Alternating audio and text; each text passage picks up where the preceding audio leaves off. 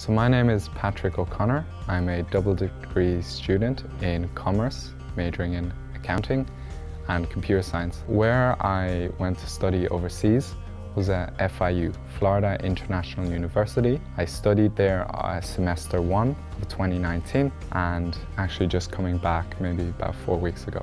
The best experience of studying abroad is that you not only get to take your domestic study overseas, but you get to interact with the culture, you get to meet new people, not only from America, but South America, Germany, Europe, Asia. So I guess the main experience you get from it is you're not just taking your studies overseas, but you're introducing, you're exposing yourself to what the world has to offer.